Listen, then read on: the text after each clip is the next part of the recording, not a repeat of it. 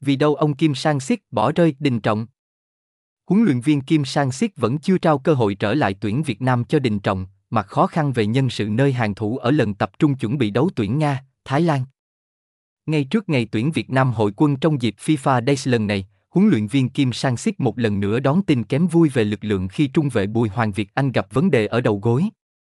Không mất nhiều thời gian, tân thuyền trưởng người Hàn Quốc nhanh chóng điện tên Giáp Tuấn Dương, một trung vệ trẻ đang khoác áo nhà cựu vô địch công an Hà Nội lên thay thế cho đàn anh ở tuyển Việt Nam. Quyết định này thực sự gây bất ngờ, bởi nhiều người đã nghĩ tới Đình Trọng được thế chỗ cho Bùi Hoàng Việt Anh, thay vì Tuấn Dương. Lý do là bởi ở mùa 2023-24, trung vệ từng là trò cưng của huấn luyện viên Park Hang-seo lấy lại phong độ rất cao và góp công lớn giúp Bình Định giành vị trí Á quân V-League. Trong khi đó, sự lựa chọn của huấn luyện viên Kim Sang-sik là Tuấn Dương dù tiến bộ nhưng khá non về mặt kinh nghiệm, không dễ cạnh tranh một vị trí chính thức trong lần tập trung đang diễn ra.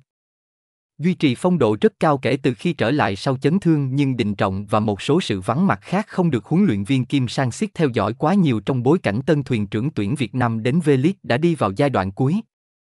Thực tế, với việc chỉ được theo dõi vài vòng đấu, chiến lược gia người Hàn Quốc buộc phải ưu tiên chọn những câu lạc bộ tại Hà Nội hoặc gần về mặt địa lý, bên cạnh đó là đóng góp nhân sự lớn cho tuyển Việt Nam để bắt quân cho giai đoạn đầu tiên, thay vì mở rộng cửa cho tất cả. Minh chứng cho điều vừa nói ở trên nằm ở danh sách hai đợt tập trung dưới thời của huấn luyện viên Kim Sang Sik đều ở con số 26, 28 cầu thủ thay vì nhiều hơn hoặc trao cơ hội cho những nhân tố mới. Tương lai có thể sẽ khác, nhưng lúc này đành phải thông cảm cho ông Kim, bởi chưa có thời gian đủ lâu để chọn lựa sâu rộng.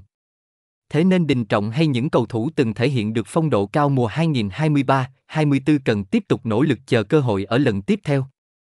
So với đợt tập trung hồi tháng 6, tuyển Việt Nam đón sự trở lại của nhiều trụ cột quan trọng, trong đó đáng chú ý là Quế Ngọc Hải và Phan Văn Đức.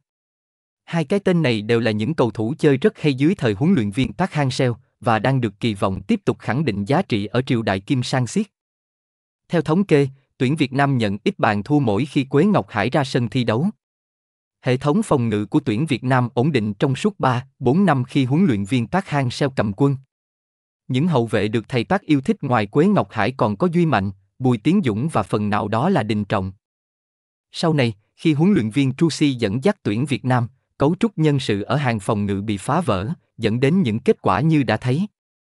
Vì vậy, ngay khi ngồi ghế nóng tuyển Việt Nam, huấn luyện viên Kim Sang Siết xây dựng lối chơi quen thuộc với một hàng thủ vững chắc mang thương hiệu của huấn luyện viên Park Hang-seo. Chỉ tiếc là ở thời điểm ra mắt trong hai trận gặp Philippines và Iraq hồi tháng 6 tại vòng loại thứ hai World Cup 2026, ông Kim không có đủ lực lượng, trong đó sự vắng mặt của Quế Ngọc Hải để lại khoảng trống lớn. Không có hàng phòng ngự kiên cố và hiểu ý nhau, tuyển Việt Nam dù giành kết quả một thắng và một thua trong hai trận ra mắt của huấn luyện viên Kim Sang Siết, nhưng năm lần bị thủng lưới. Giải pháp sử dụng Bùi Hoàng Việt Anh thay vị trí của Quế Ngọc Hải là phù hợp nhất, nhưng trung vệ câu lạc bộ Công an Hà Nội vẫn thua đàn anh ở sự lì lợm, tinh quái, chơi lăng xả và biết phát động tấn công từ sân nhà. Ở đợt tập trung lần này, sự trở lại của Quế Ngọc Hải giúp huấn luyện viên Kim Sang Sik yên tâm hơn rất nhiều với hàng phòng ngự tuyển Việt Nam. Trước các quân xanh, chất lượng là Nga và Thái Lan, thì vai trò, phẩm chất thủ lĩnh của trung vệ sinh năm 1993 càng phát huy và trở nên cần thiết. Với mặt trận tấn công, việc Văn Toàn chấn thương cổ chân lỡ hẹn đợt tập trung tuyển Việt Nam là rất đáng tiếc. Dù không phải là mẫu tiền đạo săn bàn tốt, nhưng cách chơi của Văn Toàn lại rất được các huấn luyện viên trưởng yêu thích. Sở hữu tốc độ, kỹ thuật, Văn Toàn mỗi khi vào sân từ băng ghế dự bị thường tạo nên sự khác biệt.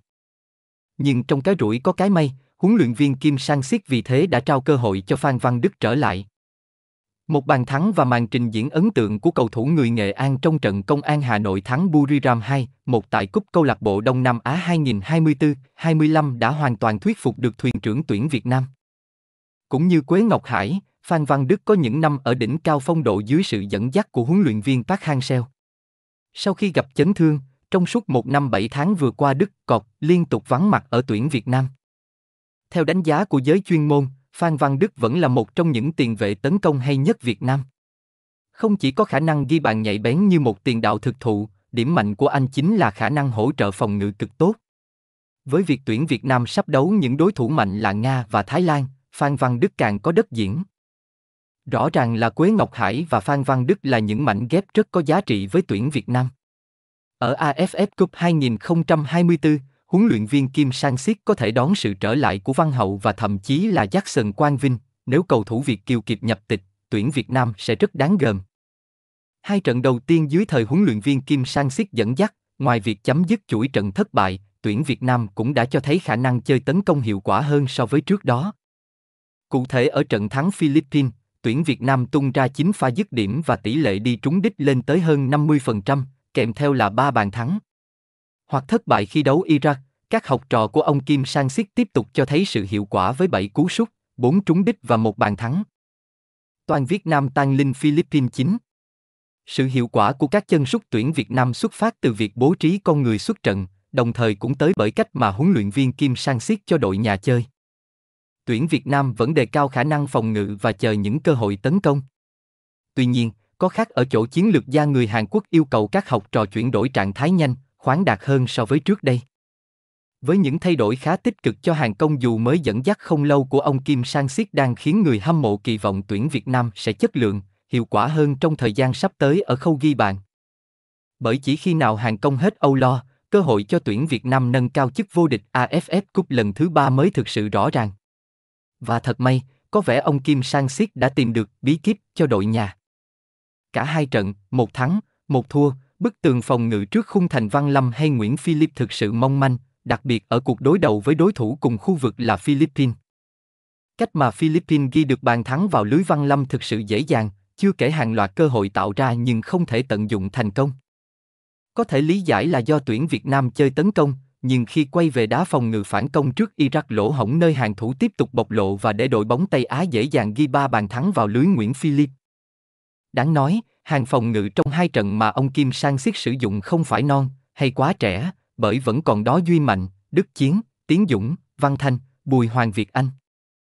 So với lần tập trung đầu tiên, danh sách hàng phòng ngự mà huấn luyện viên Kim Sang Siết gọi chuẩn bị cho loạt trận giao hữu dịp FIFA Days vào tháng 9 về cơ bản không thay đổi quá nhiều.